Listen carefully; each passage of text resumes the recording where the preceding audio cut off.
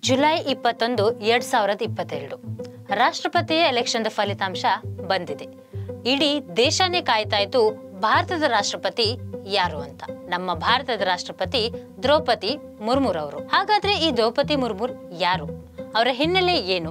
ಬನ್ನಿ, ತಿಳ್ಕೊಳ್ಳೋಣ. ದ್ರೌಪದಿ ಮುರ್ಮುರವರು ಒಡಿಸ್ಸಾದ ಬೈದೋಪುಸಿ ಗ್ರಾಮದ ಶಾಂತಲ ಬುಳಕಟ್ಟ ಜನಾಂಗದವರು. ಇವರು ಹುಟ್ಟಿದ್ದು ಸಾವಿರದ ಒಂಬೈನೂರ ಐವತ್ತೆಂಟು ಜೂನ್ ಇಪ್ಪತ್ತನೇ ತಾರೀಕು. ಬಡ ಕುಟುಂಬದಲ್ಲಿ ಹುಟ್ಟಿದಂತ ದ್ರೌಪದಿ ಮುರ್ಮುರ್ ಅವರು ತನ್ನ ಶಿಕ್ಷಣವನ್ನ ತುಂಬಾನೇ ಕಷ್ಟದಿಂದ ಪೂರೈಸಿದ್ರು. ದ್ರೌಪದಿ ಮುರ್ಮುರ್ ಅವರ ವಿವಾಹ ಶ್ಯಾಮ್ ಚರಣ್ ಮುರ್ಮುರ್ ಅವ್ರ ಜೊತೆ ತುಂಬಾ ಚಿಕ್ಕ ವಯಸ್ಸಿನಲ್ಲಿ ಆಗುತ್ತೆ. ಇಬ್ರು ಗಂಡ್ಮಕ್ಳು, ಒಂದು ಹೆಣ್ಮಗು. ಕಾರಣಾಂತರಗಳಿಂದ ದ್ರೌಪದಿ ಮುರ್ಮುರ್ ಅವರ ಪತಿ ಮತ್ತೆ ಇಬ್ಬರು ಗಂಡ್ಮಕ್ಳು ತೀರ್ಕೊಂತಾರೆ. ಆಮೇಲೆ ದ್ರೌಪದಿ ಮುರ್ಮುರ್ ಅವರು ತನ್ನ ಮಗಳಿಗಾಗಿ ಅವರು ಶಿಕ್ಷಕಿಯಾಗಿ ಕೆಲಸನ ಮಾಡ್ತಾರೆ. ನಂತರ ರಾಜ್ಯ ನೀರಾವರಿ ಮತ್ತೆ ಇಂದಿನ ಇಲಾಖೆಯಲ್ಲಿ ಜೂನಿಯರ್ ಅಸಿಸ್ಟೆಂಟ್ ಆಗಿ ಕೆಲಸನ ಮಾಡ್ತಾರೆ. ಸಾವಿರದ ಒಂಬೈನೂರ ತೊಂಬತ್ತೇಳರಲ್ಲಿ ದ್ರೌಪದಿ ಮುರ್ಮುರ್ ಅವರ ರಾಜಕೀಯ ಪ್ರವೇಶ. ಮೊಟ್ಟ ಮೊದಲ ಬಾರಿ ರಾಯರಂಗ್ಪುರದಲ್ಲಿ ಇವರು ಆಸ್ ಎ ಕೌನ್ಸಿಲ್ ಆಯ್ಕೆಯಾಗ್ತಾರೆ ಅದೇ ವರ್ಷ ರಾಯರಂಗ್ಪುರದಲ್ಲೇ ಬಿಜೆಪಿ ರಾಷ್ಟ್ರೀಯ ಎಸ್ಟಿ ಮೋರ್ಚಾ ಉಪಾಧ್ಯಕ್ಷ ಕೂಡ ಹಾಕ್ತಾರೆ. ಎರಡ್ ಸಾವಿರ ಎರಡ್ ಸಾವಿರದ ಒಂಬತ್ತರಲ್ಲಿ ರಾಯರಂಗ್ಪುರದ ಎಂಎಲ್ಎ ಆಗಿ ಬಿಜೆಪಿ ಮತ್ತೆ ಬಿಜೆಡಿ ಮೈತ್ರಿ ಸರ್ಕಾರದಲ್ಲಿ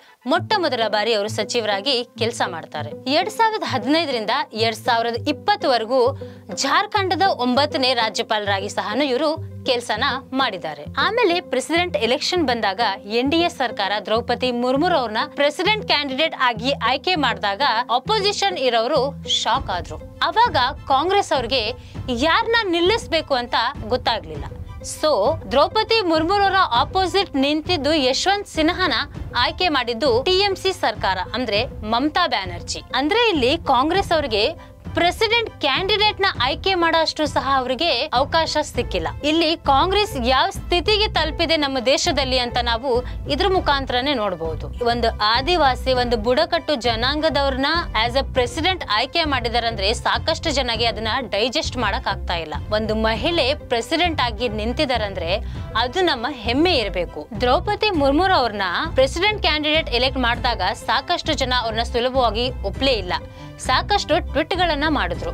ಆ ಟ್ವಿಟ್ ಏನು ಅಂತ ನೀವು ಇಲ್ಲಿ ನೋಡಿ. ನಿನ್ನೆ ಪ್ರೆಸಿಡೆನ್ಸಿಯಲ್ ಎಲೆಕ್ಷನ್ದು ರಿಸಲ್ಟ್ ಬಂದ ಮೇಲೆ ಇಂಡಿಯಾ ಟುಡೇಯ ಒಬ್ಬ ವ್ಯಕ್ತಿ, ಇಂದ್ರನೀಲ್ ಚಾಟರ್ಜಿ, ಏನ ಹೇಳಿದಾರಂದ್ರೆ Indranil Chatterjee had commented that he cannot accept Droupadi Murmu has a India's president because she is a Adivasi ಇವರು ದ್ರೌಪದಿ ಮುರ್ಮು ಅವರ ಹ್ಯಾಸ್ ಎ ಇಂಡಿಯನ್ ಪ್ರೆಸಿಡೆಂಟ್ ಅಂತ ಇವರು ಒಪ್ಕೊಳೋದಿಲ್ವಂತೆ.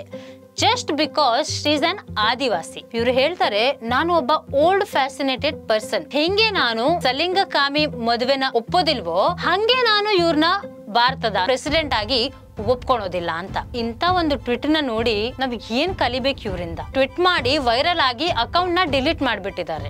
You can not accept a human as a president ನಿಮ್ಮಿಂದ ನಾವು ಬೇರೆ ಏನು accept ಮಾಡ್ಕೊಳಕ್ ಆಗೋದಿಲ್ಲ. ನಿಮ್ಗೆ ಇದನ್ನೆಲ್ಲ ಒಪ್ಕೊಳಕ್ ಆಗಿಲ್ಲ ಅಂದ್ರೆ ಅದು ನೀವು ನಿಮ್ಮಲ್ಲೇ ಇಟ್ಕೊಳ್ಳಿ. ಆದ್ರೆ ಒಂದು ಮಹಿಳೆನ ಈ ತರ ಅವಮಾನ ಮಾತ್ರ ನೀವು ಮಾಡಬೇಡಿ. ಈ ದೇಶದ ಸಂವಿಧಾನಕ್ಕೂ ಸಹ ನೀವು ಅವಮಾನ ಮಾಡಿದ್ದೀರಾ? ಅದನ್ನ ನೀವು ಮೊದಲು ತಿಳ್ಕೊಳ್ಳಿ. ಹದಿನೈದನೇ ರಾಷ್ಟ್ರಪತಿ ಆದ ಮತ್ತೆ ಎರಡನೇ ಮಹಿಳೆ ರಾಷ್ಟ್ರಪತಿ ಆದ ದ್ರೌಪದಿ ಮುರ್ಮುರವರು ಚೆನ್ನಾಗಿ ಕೆಲಸ ಮಾಡಿ ಸೇವೆ ಸಲ್ಲಿಸ್ಲಿ ಅಂತ ನಾವಿಲ್ಲಿ ವಿನಂತಿ ಮಾಡ್ತೀವಿ.